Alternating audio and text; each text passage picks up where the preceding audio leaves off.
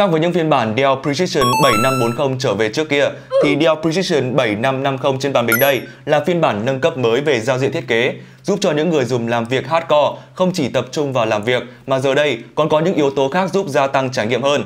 Cụ thể đó là những gì? Hãy cùng mình đi tìm hiểu Dell Precision 7550, ông chủ máy chạm trong vòng 2 đến 5 năm tới nhé.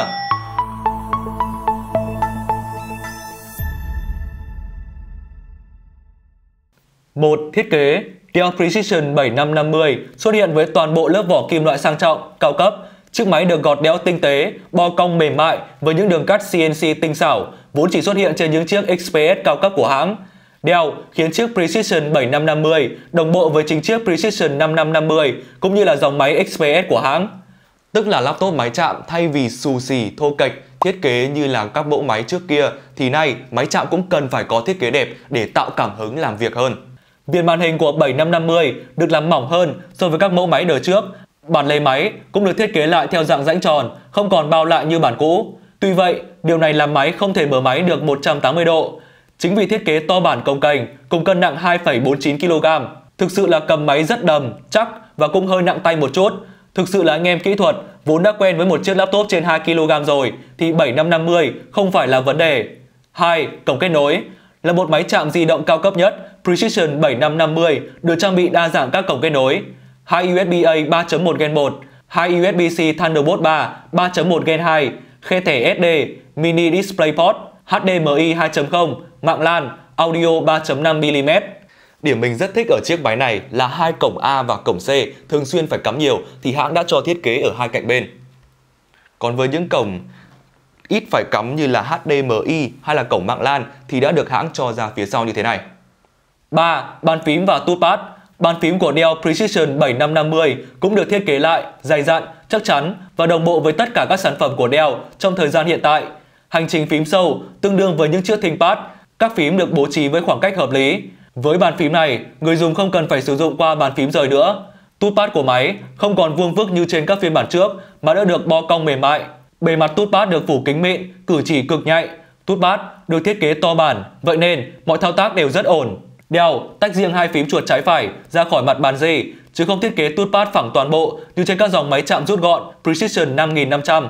4. Màn hình cũng giống như bao laptop đồ họa khác, Dell Precision 7550 được trang bị màn hình với tấm nền IPS, sử dụng công nghệ WVA cho khả năng hiển thị chi tiết. Máy cũng có nhiều tùy chọn màn hình, với tùy chọn thấp nhất có độ phủ màu là 45% DTSC, dành cho những người có kinh phí không quá cao nhưng muốn sử dụng một chiếc máy chạm cấu hình mạnh. Các tùy chọn màn hình khác có độ phủ màu vô cùng ấn tượng, 100% DCI P3 trên màn Full HD và 100% Adobe RGB cho màn hình UHD 4K. Phiên bản đang có ở trên màn bình đây là phiên bản base khá tiêu chuẩn với màn hình 15.6 inch 1920 x 1080 pixel, tỷ lệ 16 chia 9 truyền thống với độ chuẩn màu sắc khá cao đạt 95% sRGB.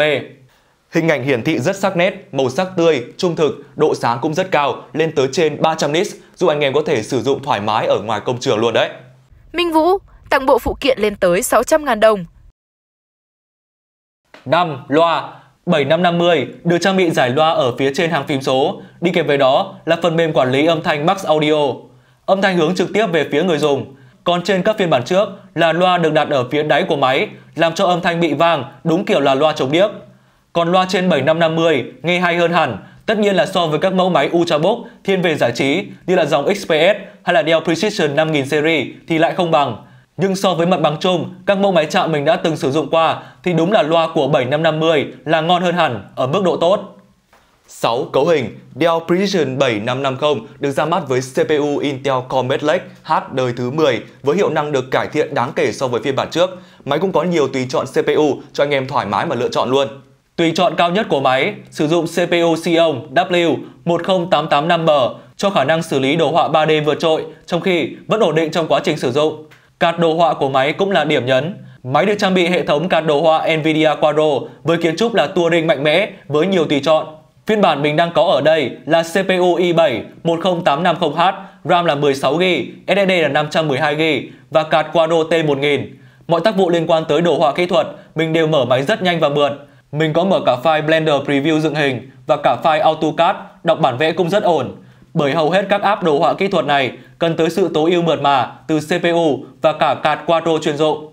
Ngoài tác vụ đồ họa kỹ thuật thì anh em mua máy này dùng cho các công việc multimedia cũng đều là ok hết nhá.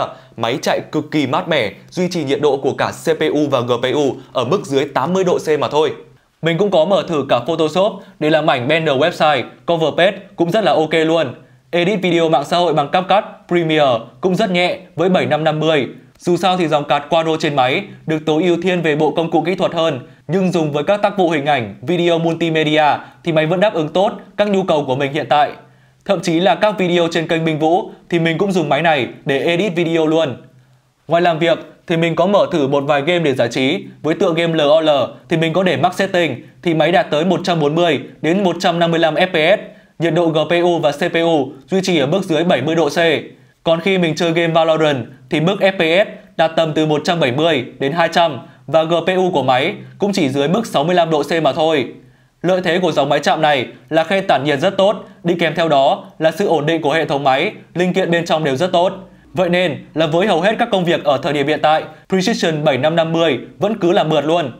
7. Khả năng nâng cấp Về khả năng nâng cấp, chiếc máy cho người dùng thoải mái nâng cấp dung lượng bộ nhớ với 4K RAM chống hỗ trợ lên tới 128GB RAM. Về ổ cứng lưu trữ, máy cho nâng cấp thoải mái với 3K SSD chuẩn M.2, tuy nhiên chỉ hỗ trợ chuẩn NVMe chứ không hỗ trợ SATA như các dòng laptop trước đây. Với lợi thế nâng cấp RAM và SSD gần như là vô tận thì đây chính là điểm lợi thế của dòng Precision Full Size này. Trong khi hầu hết các laptop hiện nay đều chỉ có hai thanh RAM có thể nâng cấp được hay chỉ một khe ổ cứng nâng cấp thì với dòng máy Precision 7000 series này, người dùng có thể đảm bảo là mua máy về là đủ dùng trong năm đến 7 năm tới luôn. Khi nhu cầu phát sinh tăng cao thì mới cần nâng cấp thêm.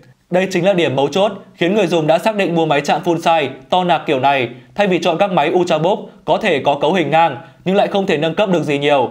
8. Tính năng khác Tùy từng option mà máy có thể có thêm cả mở khóa vân tay và mở khóa khuôn mặt luôn. Máy được trang bị viên pin 68W hoặc là 95W đi kèm củ sạc 180W. Minh Vũ tặng bộ phụ kiện lên tới 600.000 đồng. Tổng kết lại, trong tầm giá hơn 20 triệu, với anh em cần một cỗ máy làm việc châu bò húc, ưu tiên sự ổn định, hiệu năng là trên hết, đi kèm với đó là khả năng nâng cấp máy với 4 thanh RAM và 3 khe SSD giúp sử dụng lâu dài thì chỉ có Dell Precision 7550 là lựa chọn hoàn hảo nhất ở thời điểm hiện tại. Giao cản duy nhất của chiếc máy này là nó khá nặng, vậy nên là với các anh em làm đồ họa kỹ thuật, cần tính toán mô phỏng hay là các công việc đặc thù đã xác định rõ được nhu cầu sử dụng máy tính để làm việc rồi thì trọng lượng của 7550 không phải là vấn đề. Vậy nên là với các anh em cần một chiếc máy thực dụng để cày việc ổn nhất trong tầm giá 20 triệu thì Dell Precision 7550 là một lựa chọn hàng đầu. Đó là những gì mình cảm nhận được ở em máy này. Anh em có bất kỳ câu hỏi nào thì cứ comment bên dưới video, mình sẽ trả lời cho anh em. Còn bây giờ, xin chào và hẹn gặp lại.